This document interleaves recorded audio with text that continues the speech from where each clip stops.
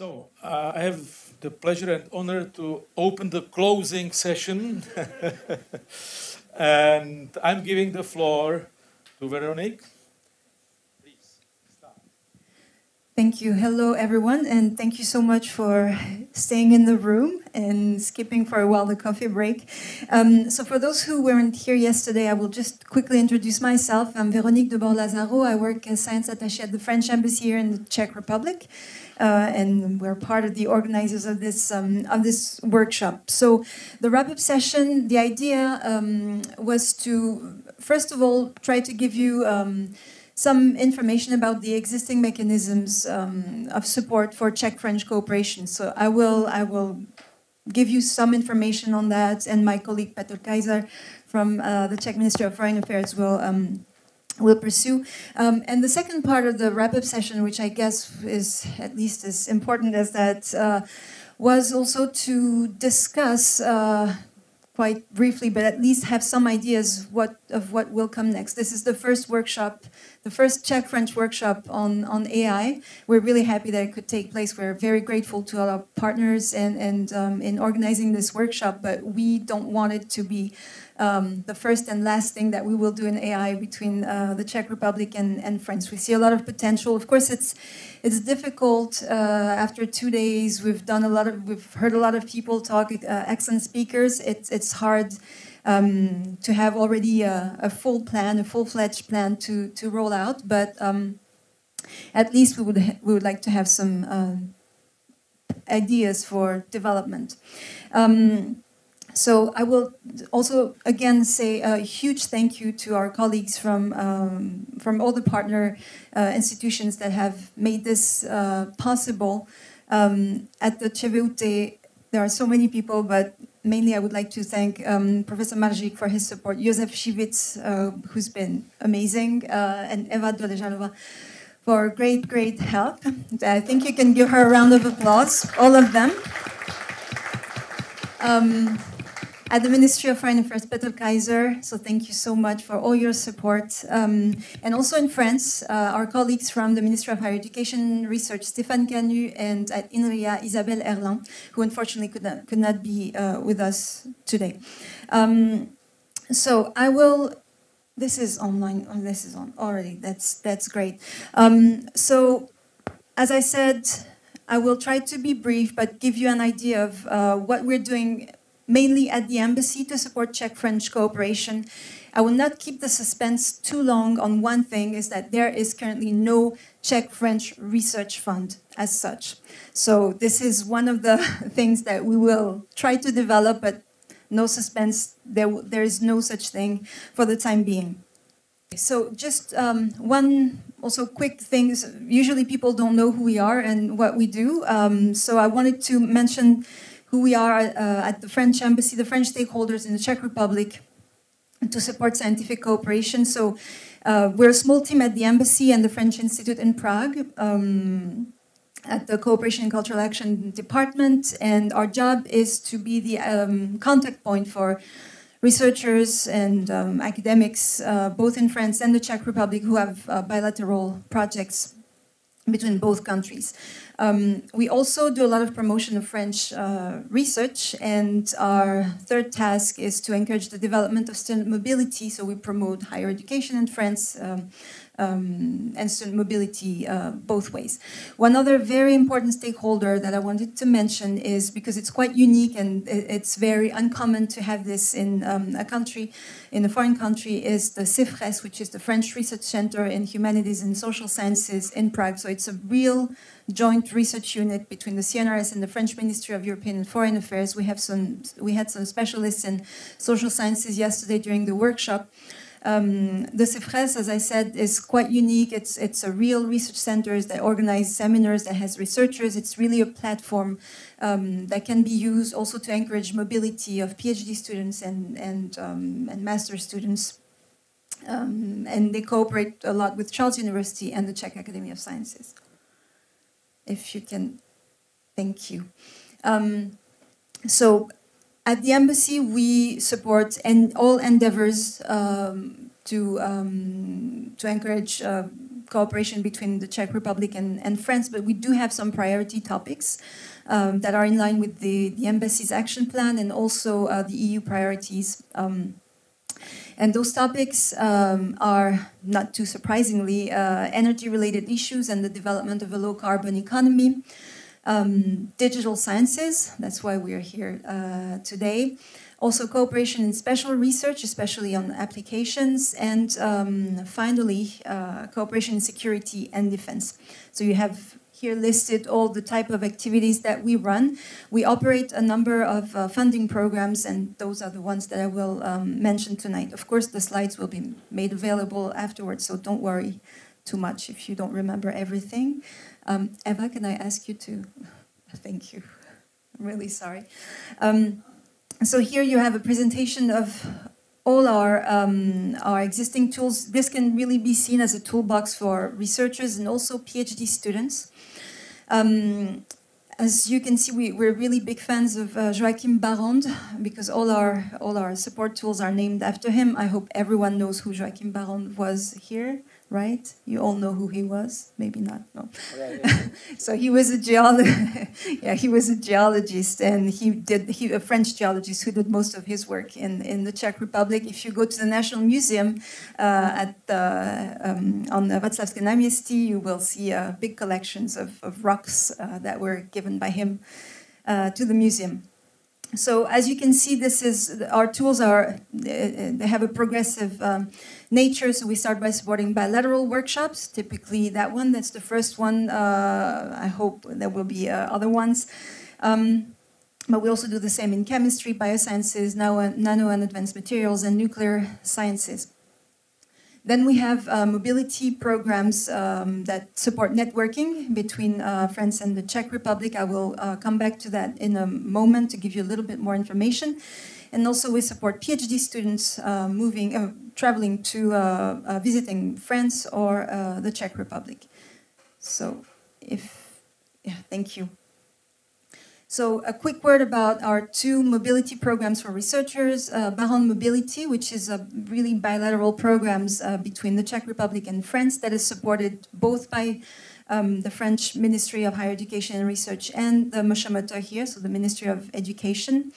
Um, and the idea is to allow two research teams from the Czech Republic and France to deepen their cooperation on a specific um, project. Um, it strongly encourages young researchers to participate. These are two-year projects. They're, it's really seed uh, seed money. Um, so you basically we can support mobility uh, both ways. You have the amount that is dedicated. It's a small amount, uh, but it can help trigger um, new cooperation. There's a yearly call. Uh, the next deadline will be next year, uh, June 2023, and we support about 10 to 15 projects every year between both countries. Um, the other one that I wanted to mention, the other program is called PHC Danube. Um, even though the Danube doesn't go through the Czech Republic, it's still called like that. It's it's um, a regional program that is a complement to the previous one I was uh, I was mentioning, um, and it's based on a partnership between several countries. So Austria, the Czech Republic, France, Serbia, Slovakia, and newly this year Montenegro and Bulgaria. And the idea is to enable researchers to um, create a network to facilitate applications to EU funding. So it's really, again, seed funding to uh, be able to apply to bigger uh, research projects. Again, we support mobility. You need to find three to five partners in the countries that are involved. It's, these are two-year projects, and the next call should be launched in November, uh, two months from now, November 2022. Uh, I think second to last program um, is Barrande Fellowships.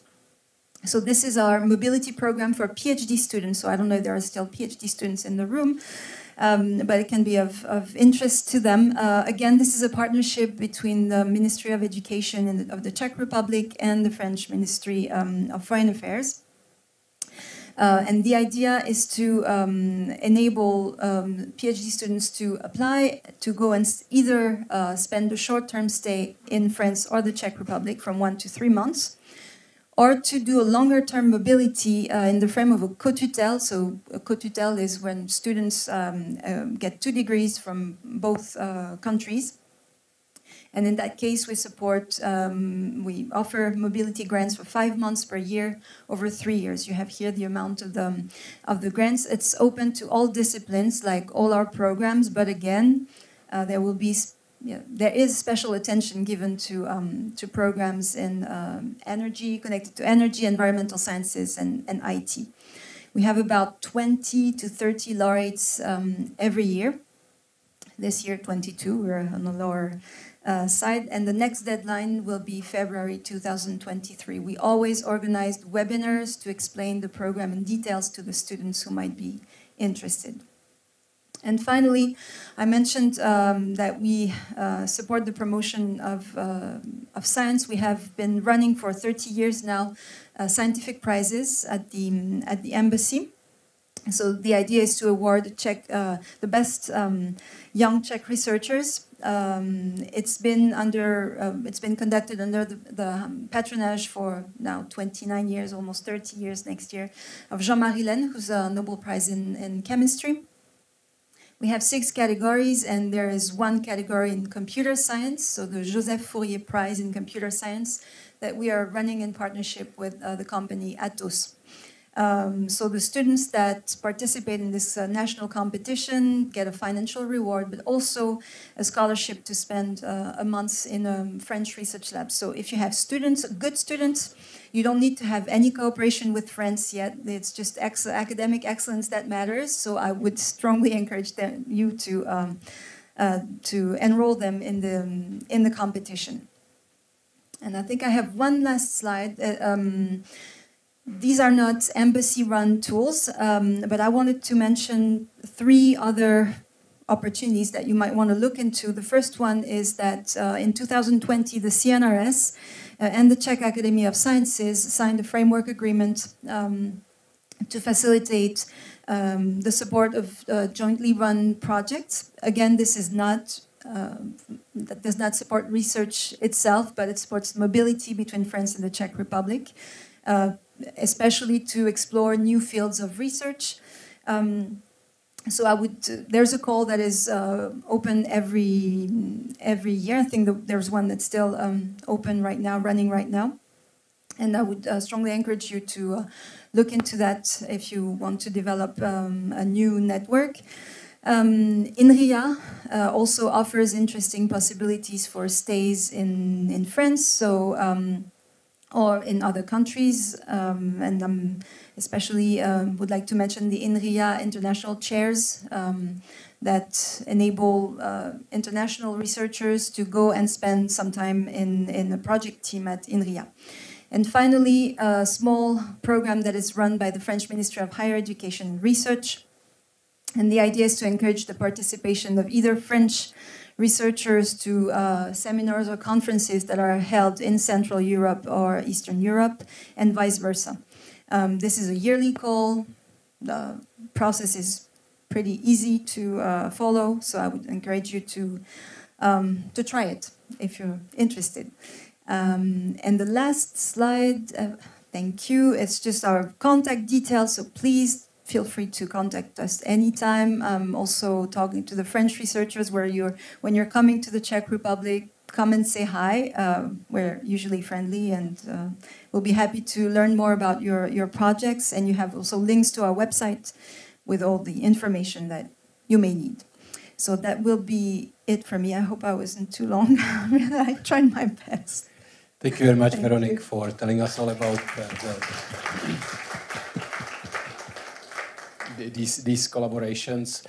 Uh, I'll be next in the in, in this, and I'll say a little bit about uh, sort of science and sort of what what could be. Also, we discussed a little bit what could be the next steps. One possibility would be, you know, if if to organize another workshop to maybe make make it a little more focused on one particular topic. So we discussed that a little bit with some of you um, already. One topic which sort of scientifically seems to be touching on almost all areas which we've seen here are these big foundational models, large-scale models. They are made the major leeway in language already. They are very interesting from ethical standpoint because of their emergent properties. uh, from the theoretical point of view, they are sort of being also analyzed. Lots of analysis uh, needs to be done on them, and they are also explored for, you know, being uh, doing the, the mathematical proofs. I know the, the group here is involved in a big science project.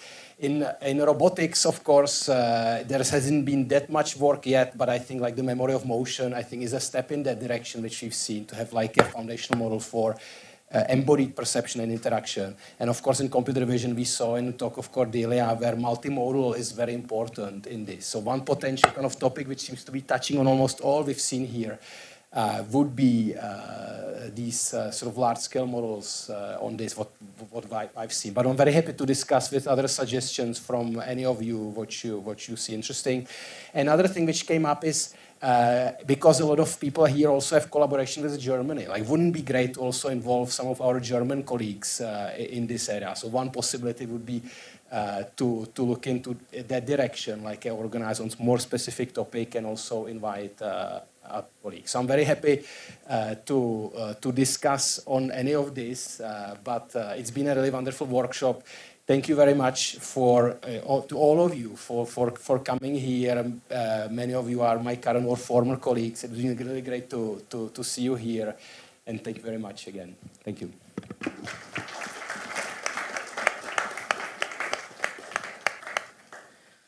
Thank you very much. I, I, will pick up on the point raised by uh, Josef. Uh, actually, there's been a number of discussion uh, on the margins of uh, our workshop uh, on how we can proceed and build on what we have actually analyzed and discussed uh, during the two days.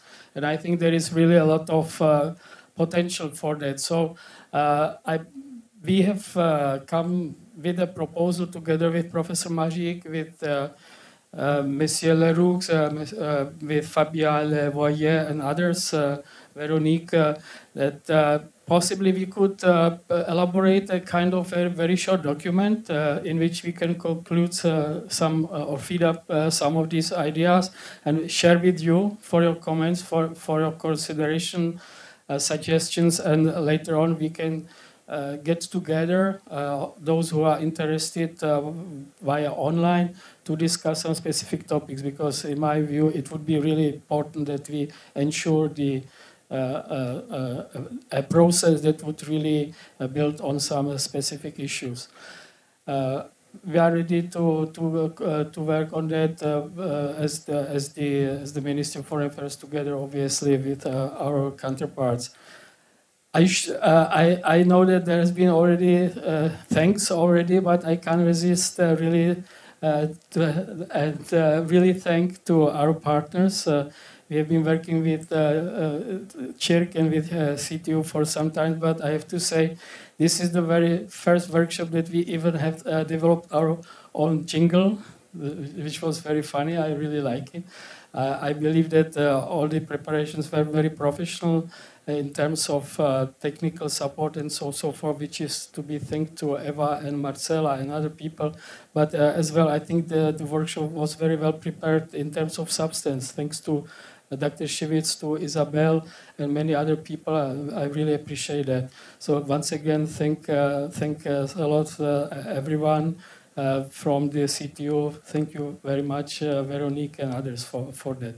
And let me really assure you that the Ministry of Foreign Affairs uh, is really uh, ready to, to support the French-Czech collaboration in this strategic technology. Before I, I, just finish last last point, I don't want to speak too much about concrete instruments that were actually addressed by Veronique, but there is a, a call for proposal to, to be launched, uh, I believe, next month, which is uh, administered by uh, ANR, which is uh, Agence Nationale de la Recherche, and this uh, this uh, this frame, uh, scheme is called uh, CHIST-ERA. The call is actually very well, I would say, very well suitable for technologies related to artificial intelligence. We will provide you all the information at our website and might be shared our document. I referred to at the uh, beginning. So once again, thank you very much. It's been a great pleasure to work with you.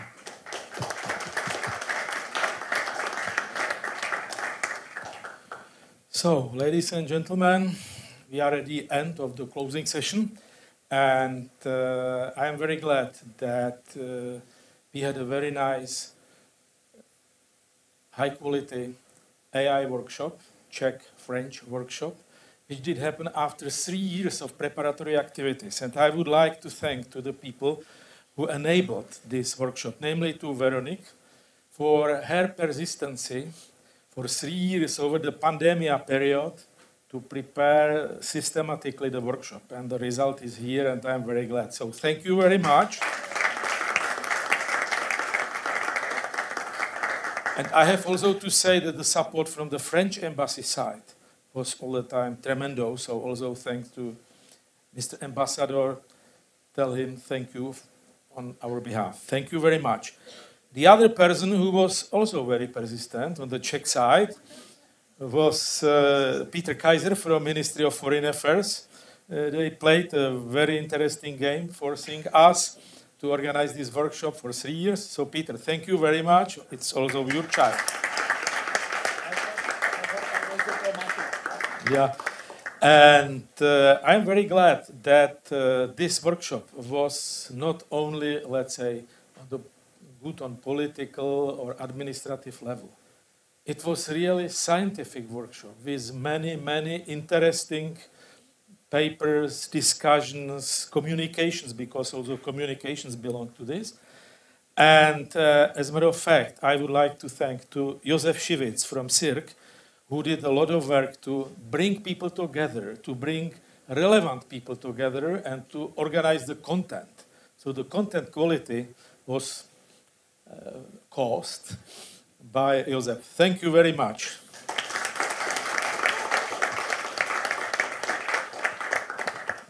And uh, at the end of the day, mm, uh, I am bringing away from this workshop three tasks for myself. First of all, I have recognized that there is no bilateral funding for Czech French scientific cooperation. So my task number one, I am member of the R&D and I Council. Together with Veronique and with Peter, we will try to do our best to ensure that at least some seed funding for bilateral cooperation will appear in the forthcoming two, three years. You know, financial planning is it's not for a week, not for months, but it counts in years. But still, we will start to make some efforts in this respect. Second, you know, we have a very good relationship with DFKI. That's our um, really best partner who helps us since the very beginning. DFKI has a very good relationship with INRIA. So there is a time to complete this triangle. And uh, my task, and I hope Josef will help me, is to enhance the cooperation with INRIA and the CIIRC INRIA or CTU INRIA cooperation should become the backbone of cooperation in the field of AI and computer science in uh, broader meaning of this word. Uh, because without such backbones, it's difficult to organize workshops, it's difficult to organize joint projects and whatever. So the other task for me is to force Josef to enhance the INRIA CTU cooperation and to create, to complete the triangle. I think that DFKI will, DFKI will be not against it. Tilman Becker is saying, confirming this, okay, and if uh, here is Wolfgang Wahlster, he would say the same, I'm quite sure. So, and the third task is uh, to be responsible for the fact that next workshop will follow. We cannot stop with this one because it was very successful and a lot of, let's say, ideas in which areas we could continue together appeared. Let's focus our attention just one or two and organize something similar maybe next year, maybe 24, but it's too late. It's not, we will see. But uh, let's continue in these workshops because they are very useful for intensifying Czech-French cooperation. That means to intensify cooperation inside EU because many projects in the past, and Mr. Leroux can confirm it, just appear based on bilateral cooperation. So at the end, I would like to thank also to the people who helped to organize the smooth organization under the leadership of Eva Doležalová. Please applause for her. and Marcela Kamenská. Yeah. And many other people from Project Management Office of CIIRC. I would like to thank to Mr. Jiří Ryšavý, who is making nice pictures to, yeah, to remember this workshop for next generations. And Maria Smatoňová, who did the website and the jingle and all these things.